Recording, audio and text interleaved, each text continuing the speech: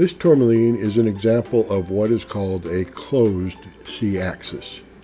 See the beautiful color on the side of this stone? This is the AB axis, and the AB axis is open. On these two sides, there's no light. It's black, no color. That is the C-axis, and in this case, it is a closed C-axis. Now when buying gemstone rough, it's best to avoid a closed C-axis when searching. And you know, online, you'll often see rough gem sellers showing you pictures and videos of a piece of tourmaline. Lots of still photos. But for some reason, they don't show you the C-axis. You should always go and ask about the C-axis. The opposite of a closed C-axis is an open C-axis. An open C-axis means that color is coming through the stone C-axis. Now the issue with an open C-axis is to determine that the color coming through is desirable or whether it's not desirable.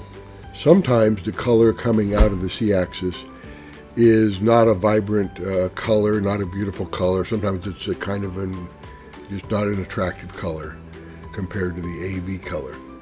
But sometimes the C-axis actually has better color than the color coming out of, off of the AB axis.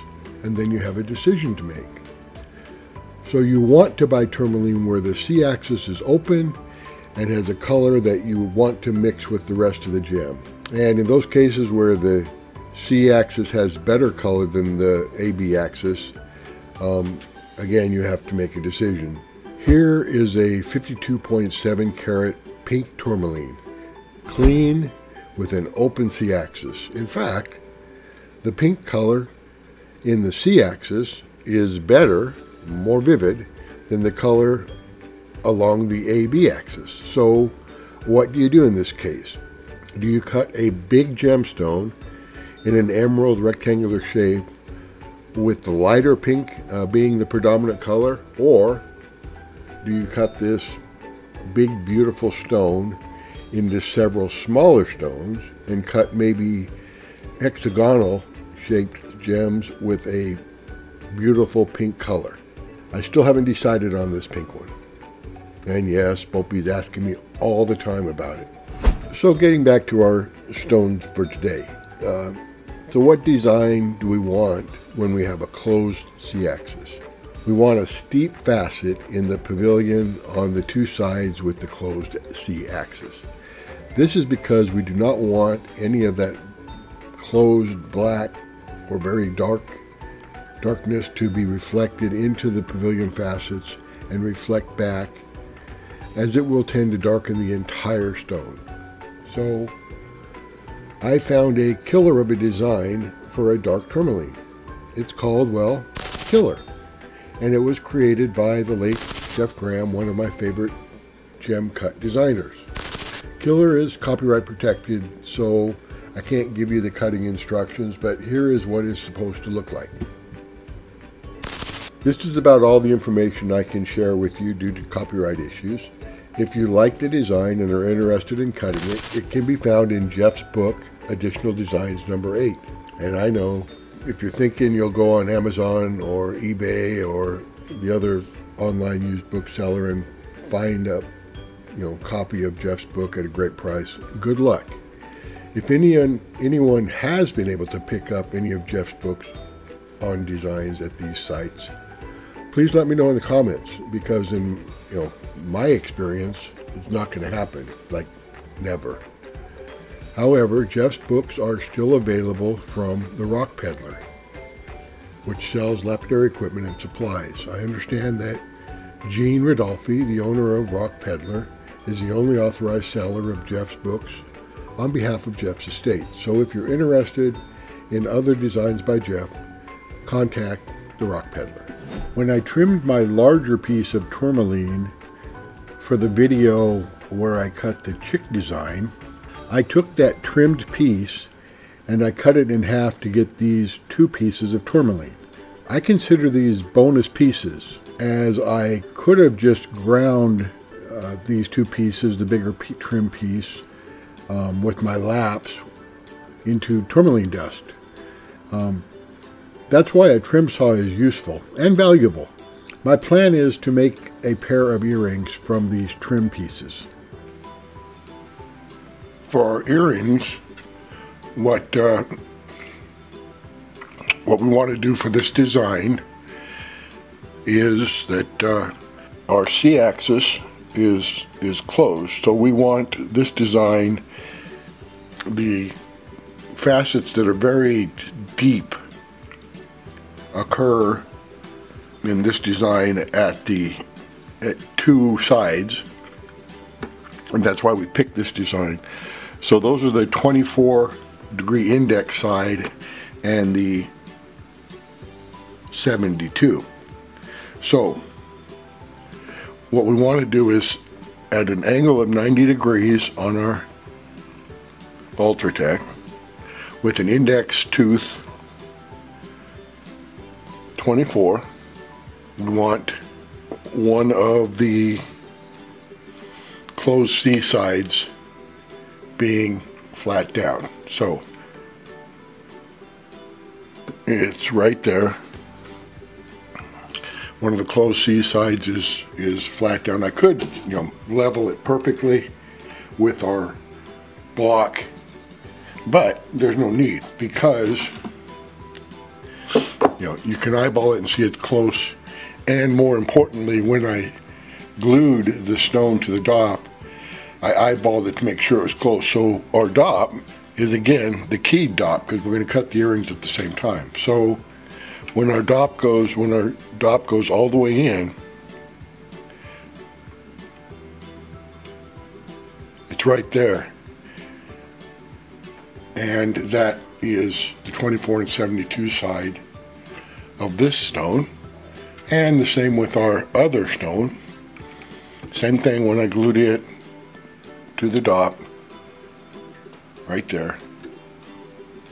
There's where the key dop sets in, it's right at the 24 and 72. So we're ready to go. Using our keyed dops, everything's set up so that we can cut our two pieces of uh, tourmaline. I'm going to start with the, they're both the same almost. This one is slightly thinner or smaller um, at the uh, C-axis side. So I'll start with it. Again, I want to make both of these the same. So I put it in until the key dop sets. Tighten up our set screw and proceed with our instructions for cutting the design called Killer. Okay, this is the the end piece of what was our you know are two pieces of tourmaline before I cut them in half. This was at one end of the tourmaline. And you can see and this is the closed C side you can see that uh, fracture line right there? And that is the end piece. It's actually goes down there. So there's a piece that really needs to come off. It's going to chip off. But I really need to grind it off.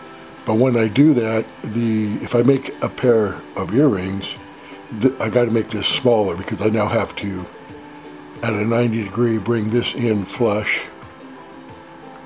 Now I could move the entire stone over in that direction so I grind on this side and grind less on that on this side. But it's not really necessary this is going to be a smaller stone so I can grind it down flush for a new 90 degrees here and and grind it all the way around at 90 degrees.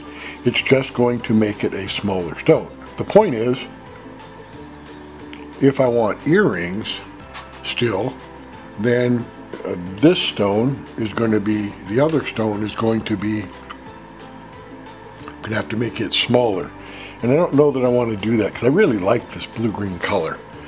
So I think I'm going to give up the idea of a matched pair of earrings with this piece and make two uh, two stones of different size using the killer design.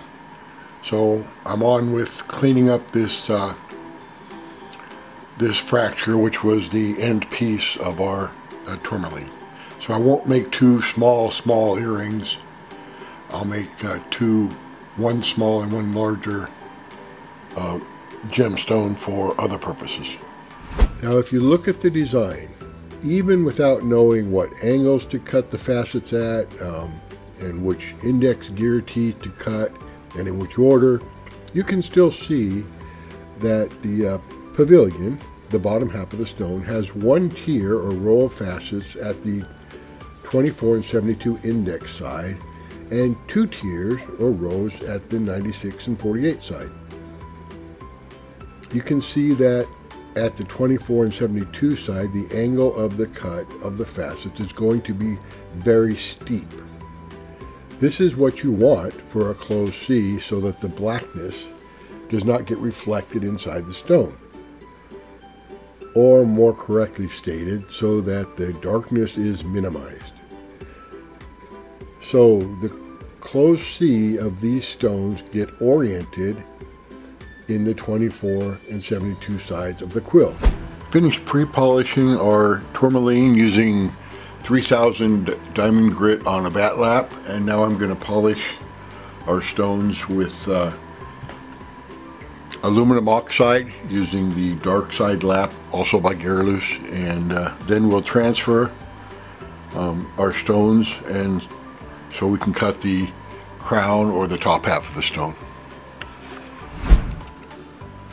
Okay, I've pre-polished our tourmaline with a 3000 grit diamond on a BATT lap. Now with this stone, uh, the way it's designed, it was a bit, it's a bit tricky on the table. And so I, I have gone in and roughed in the table. The table is very small for this design. It's right there, that little diamond.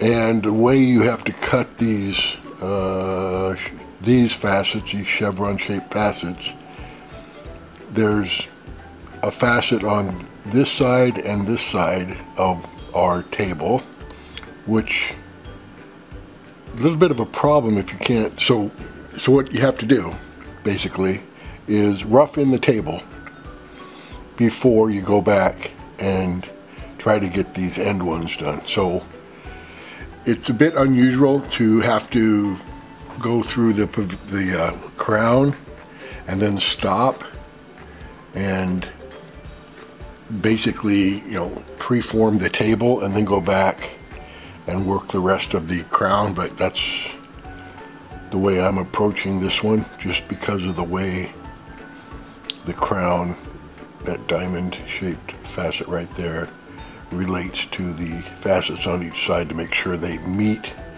just right. You kind of got to rough that in. So now I'll go back to polishing our uh, crown and uh, see how they look.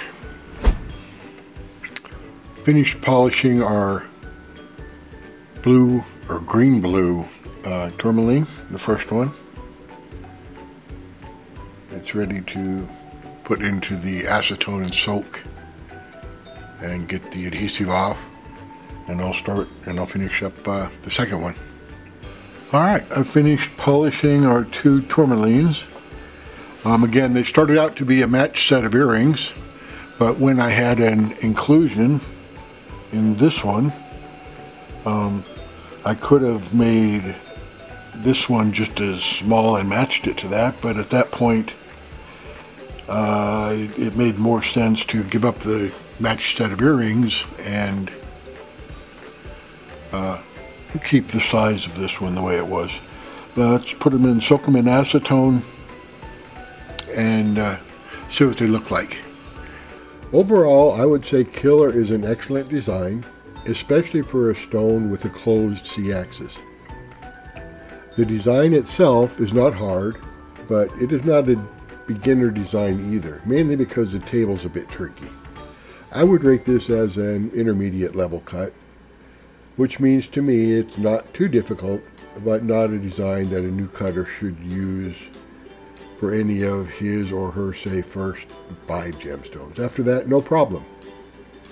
I did have to go to plan B. I was cutting uh, these gemstones in plan A for a pair of earrings, but when I ran into an internal fracture with one of the stones, I had to make that stone much smaller to cut out that fracture. Uh, I decided instead of cutting the other gemstone much smaller than necessary to match the first stone that I'd go to plan B and they're two different sized gemstones with the same design rather than a pair of earrings. Let me know in the comments if you think I made the right decision. Overall, I would say this design definitely brightened up these otherwise dark stones. Again, let me know what you think. Happy faceting, everyone.